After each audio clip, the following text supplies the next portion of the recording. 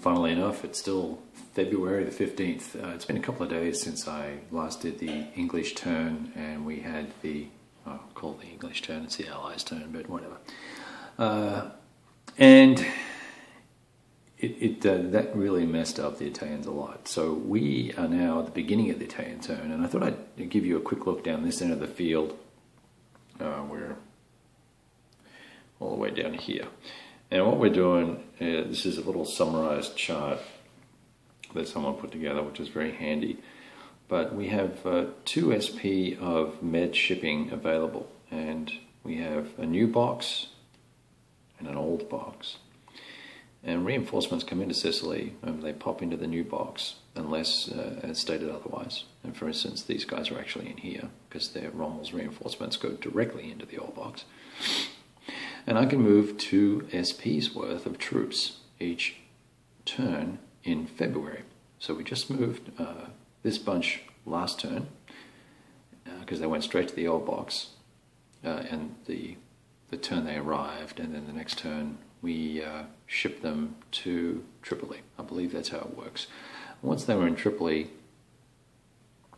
uh, we were then allowed to move them, and this is each basically each hex here is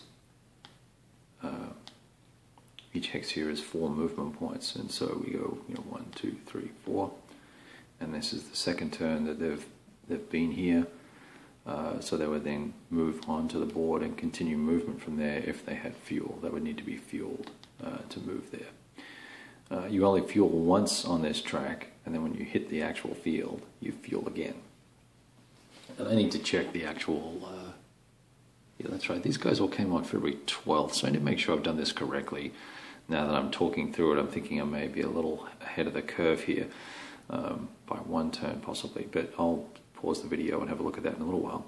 In the meantime, let's just say I've got two SP of troops that I can move. Well, there's uh, there's a that's a company, so we're going to call him. Uh, he has to be called basically half a re, uh, I believe, unless I can find another company to match him up with.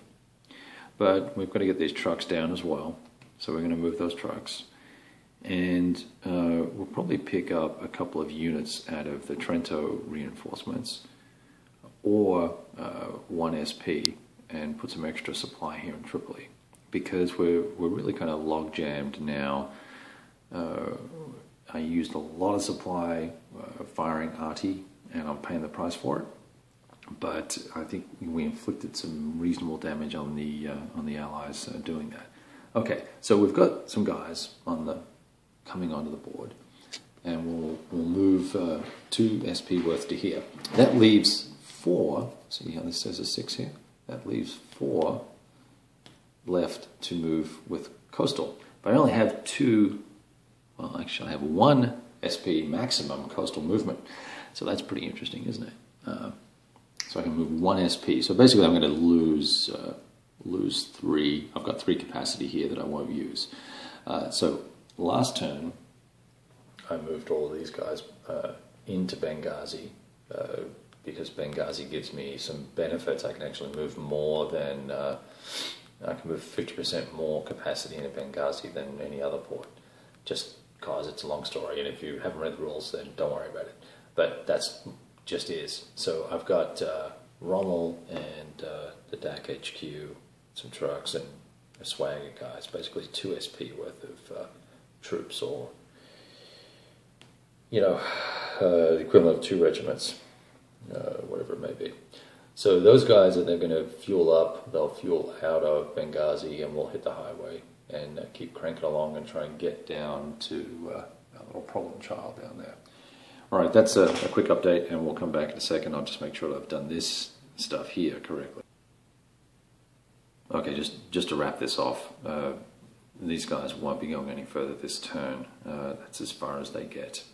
I had uh, either made a mistake or begun the, the turn and then had to stop. So uh, this is the, the current state of current state of play for the uh, axis reinforcements. So we're going to move on to movement now.